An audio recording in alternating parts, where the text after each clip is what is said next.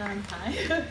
Uh, my dad is Vincent Bulteel. Um, he's going to be talking about belonging matters today. Uh, he was an addict for 37 years.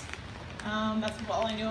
All me and my sisters knew him as for our whole lives. And then he found Turning Point, went through Turning Point, completely changed it, it, him, him around. Um, and me and my sisters are so proud and like happy to see how happy and healthy he is, and we're so grateful for the program and everyone who supports him. Um, yeah, my dad, Vincent Bulteel.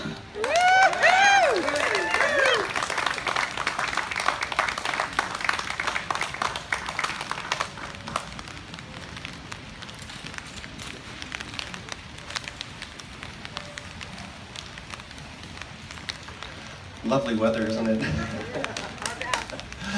Actually, I heard the other day a, a friend of mine was talking, and, and uh, she was talking about the weather. She said that she woke up in the morning and it was all raining. I was expecting her to say something really negative, and but she continued on and said, "But at least now I don't have to sleep in it."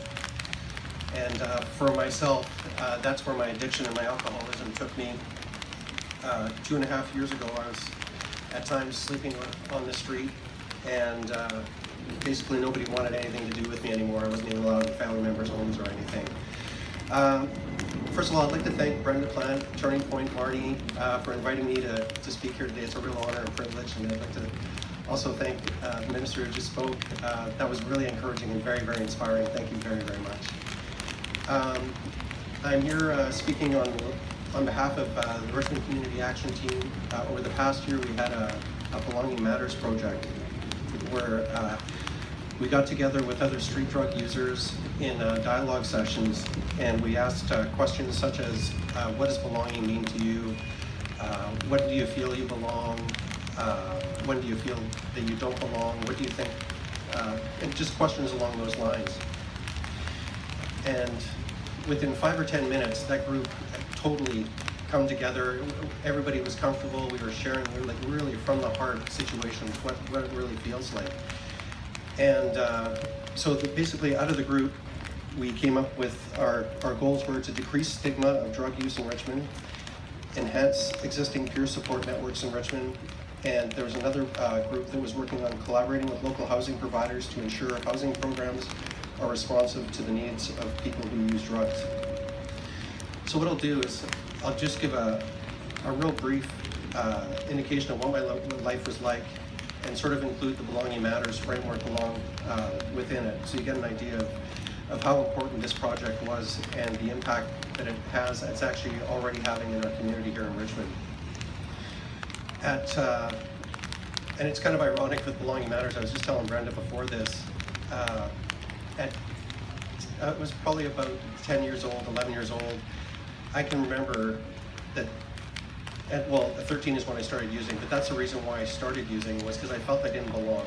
I felt apart, you know, separate from. I had a learning disability. Some people would make fun of me. I was bullied. I even had a teacher in an elementary school that called me out in class and called me stupid, things like that. So I had very low self-esteem. I just wanted to be a part of and just take part in events and be like everybody else. So when I started doing uh, drugs, all of a sudden I can remember the first time doing it, I could talk to people, there was no social anxiety, I felt good, I felt, you know, all these, it was like a magic had happened in my life. And I drank alcoholically right from that age of 13. I was addicted right from that age, and I used basically on a daily basis for 37 years. Through that time, I, uh, you know, I didn't, I didn't know how to function without without the use of drugs or alcohol. Um, I managed to function through work. Uh, in my early 20s, I was even a financial broker for a period of time. I was very successful at that. And then I became an industrial refrigeration mechanic for 15 years. I was making six figures. I had a wife, three kids. I had two vehicles, motorcycles, vacations. I had absolutely everything. And I can remember my journey, the whole way going through. I, I look, I compare myself to other people. Well, I'm not, not an alcoholic. I, I haven't had a DUI. Then the DUI started to happen. Well, then I had to set the bar lower because I didn't want to admit I had a problem with drugs and alcohol. Well, I haven't lost, you know, I haven't lost my family. I lost my family. Well, you know, I haven't lost my job. I haven't. I, I just kept setting the bar lower and lower to the point where I lost my housing and I was homeless. And then I was only left with myself. I created the mess I was in, and I can remember my dad picking me up. I, would, I, I had enough money to have a hotel room. He picked me up, and I was trying to figure out a way to, to scam him for uh, some money so I could get more alcohol. I wasn't going to get a hotel room, but I, that's what I said to him. I said, you know, can I, I need some money because I can't be homeless or anything like that. And uh, this was the breaking point for me. He looked at me and he said, Vince, we're not going to give you any more money. Every time we give you money, we're killing you. And so I'll either drop you off at a back alley or we'll drop you off somewhere where you can get some help.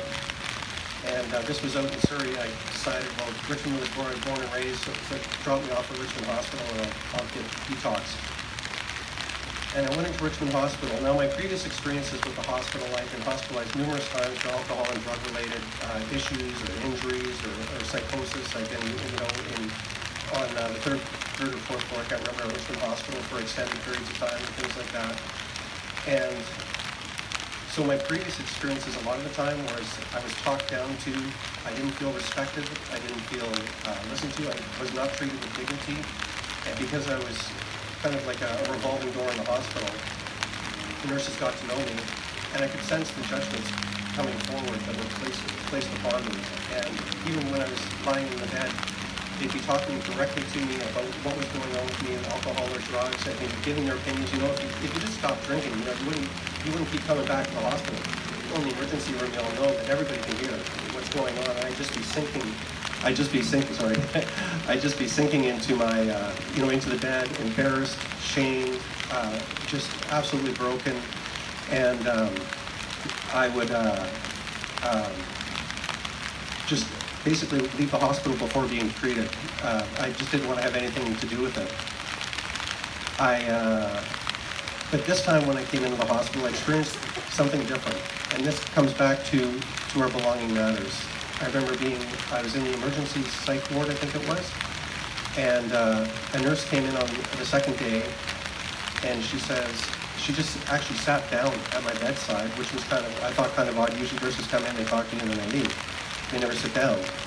She actually sat down on my bedside, she leaned forward in a real casual position, and she goes, you're, you're having a pretty rough go, aren't you? And I, oh yeah. And he goes, she said, you know, sometimes talking about it helps. And I was at that point, and she just said the right things. All I don't know, just because I felt she was respecting me, the way she was talking, her body language, her eye contact, I felt that she actually cared and she wanted to hear what I had to say.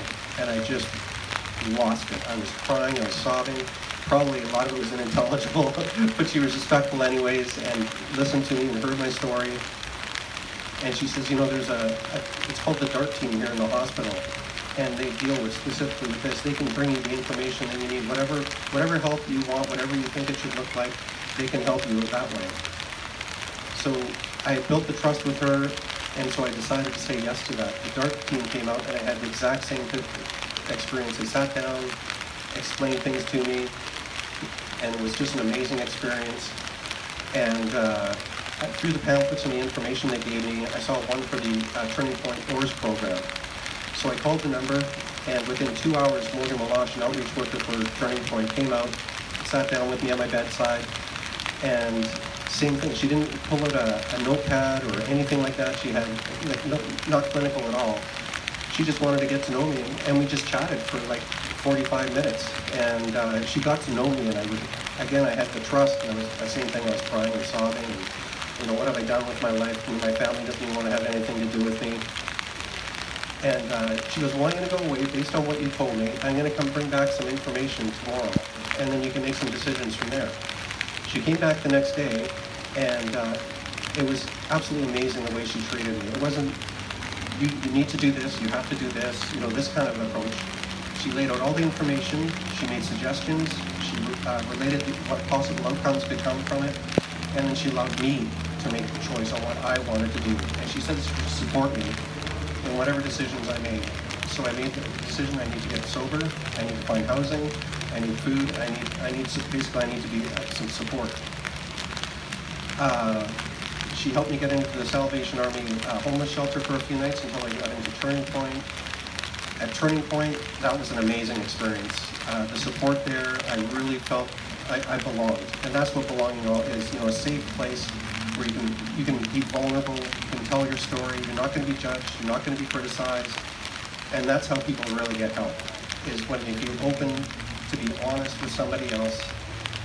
And then that, that's the open door. And uh, so I went through Turning Point, and they gave me all the tools. I took part in in-house pro- uh, programs. They encouraged outside programs also. I took part in everything. I just got in the habit of saying yes to whatever was suggested because, you know, my thinking is what got me there. So I thought I'd better rely on somebody else's to get me out of the hole that I had dug. Um, so I went through all that, and then a year ago, I was uh, through Vancouver Coastal Health. I was put in contact with the Richmond Community Action Team, and we worked over this past year putting together a, a program that is a peer-led initiative of how we think, not what uh, you know the medical uh, system thinks, but how peers, people with actual experience in drug and alcohol, how we think that we can make an impact, reduce stigma, and this and that. And basically, we came up with actually going into the community to uh, healthcare service providers and, and other areas, pharmacists, and actually having conversations with them and telling our stories, our experiences in the hospital. Uh, others have had really bad experiences with pharmacies. I'm sure a lot of you out here, especially with Suboxone and methadone, going in there, I, I can't imagine you know, being looked down upon, being followed around by security guards and things like that. They forget that we're human beings. We're not, you know, people put this label on us, you know, and uh, I'm, I'm guilty of it too sometimes. And so I was really honored. Um, through this program, I went in and I did uh, a series of pre-talks with the Richmond uh, ER nurses. I um, also, just this last week, I spoke um, at the, uh, it, uh, orientation meeting for nurses and Richmond RCMP. And I'm getting all these other thing, opportunities to share my story. And afterwards, the reception that I'm getting from these, these organizations, nurses coming up, and then actually hearing their feedback that, you know, I'm gonna start making more eye contact with people. I'm gonna really watch my body language. Because there is a lot of, you know, I was stigmatized, but there's also self, my, my perception of I was being stigmatized too. I would be sitting in a hospital bed and the nurse would be rushing, busy. You know, they're always dealing with people on the, on the worst day in their lives. And they come in and maybe a, a, a blood pressure monitor isn't working, she'd be standing beside me, and then she'd just go, ah, out of frustration. And right away, I would take that as, that's me. She's, she's doing this because of me. So I don't put the, you know, illness completely on nurses or service care providers or pharmacies or anything like that. I think because of the stigmatization, I just think I'm always being stigmatized. But now, through this program, I don't only feel that, you know, I'm out, I'm doing events like this now and, and doing these spe- uh, speeches.